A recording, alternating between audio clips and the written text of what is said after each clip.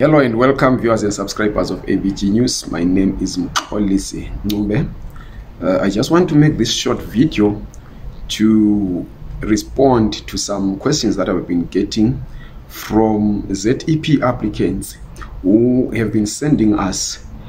what looks like motivational letters uh, which they've been written by their employers or which they've written themselves and they want to know if these letters are what is required by uh, the Department of Home Affairs uh, as a motivation for them to try and apply for a waiver. So before I go ahead and explain what a motivational letter is, uh, I would like to request that you subscribe to this channel, you like this video, and you share it so that we can ably assist even those who may not uh, instantly watch uh, on this channel, but for as long as we continue spreading this, uh, people will get a chance to get to understand the requirement that should be in the motivational letter. Uh, I've received a number of uh, letters that people have been forwarding to me, which have been written by their employers, others have been written by they uh, them themselves,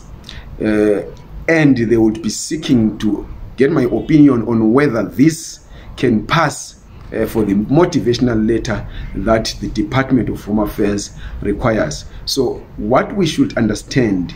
is that the reason for a letter of motivation to be needed uh, is that the Department of Home Affairs seeks to understand which of the regulations in the Immigration Act one cannot satisfy and the reasons why. So it cannot just be a letter which says, uh, I, so and so, hereby uh, acknowledge and uh, that Mxolisi Ncube is employed by me as a domestic worker. May you kindly grant him uh, a waiver. It cannot be because there is no specific uh, that this letter addresses except just uh, confirming that somebody is employed. So that can pass for a confirmation of employment, but not a letter of motivation. A letter of motivation is written based on the requirements for a particular visa that you want. For example, if I were to apply for a critical skills visa, uh, and I do have qualifications in that criteria or in that particular field, but the criteria doesn't meet uh, the threshold that the Department of Home Affairs or the Immigration Act of South Africa specifies as the minimum for one to have a critical skills visa. I then can uh, state that the requirement under regulation 16 maybe subsection 1 subsection b uh, is that i should have a particular qualification.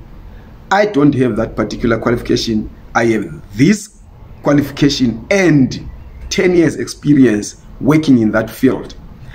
I therefore request that you set aside this regulation so that i can therefore be able to apply. Uh, or you are a teacher but the language, the subjects that you are teaching are not uh, under uh, STEM, then you apply that because you are an educator, although you are not uh, in the field that is required, you, however, apply for a waiver on certain regulations. So, the long and short of it is that there should be uh, a consideration of what the particular visa that you are applying for requires as a way of qualification, as a way maybe of experience, then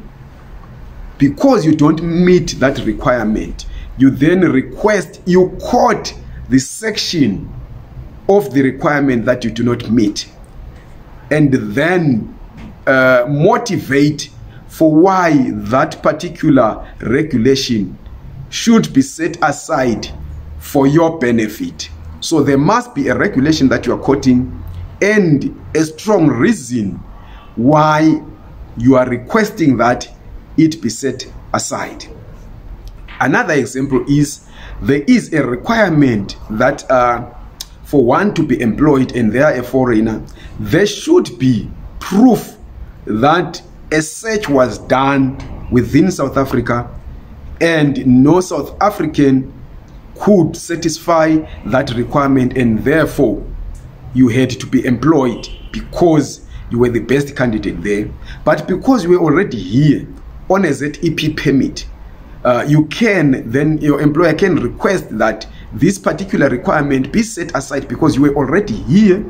uh, and living and working on a ZEP. So some of these requirements then can fall by the wayside, but the motivation should be clear. So what should be noted here is that there must be a regulation that you are citing which you cannot certify satisfy for one reason or another and therefore you request that this one be set aside based on the strength of your motivation that maybe you already experienced in that particular field, that you already uh, are here in South Africa, that you already possess certain skills, although they may not meet a certain threshold, or if you're applying for a business permit, you have a compliant company which is already operational in South Africa, which is already employing people, including South Africans, but you don't meet the minimum threshold of 5 million rands, you therefore can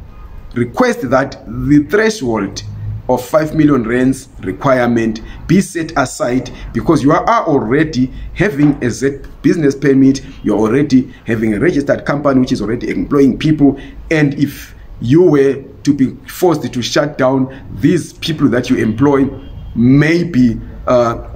find themselves with nothing to put on the table for their children for their families or already your company is providing uh, certain services that uh, are needed in South Africa or you are training people or things like that then you therefore request that this regulation of a minimum 5% of a minimum 5 million rands uh, be set aside. So I think we now understand that it cannot be a motivation, a, motive, a letter of motivation without specifying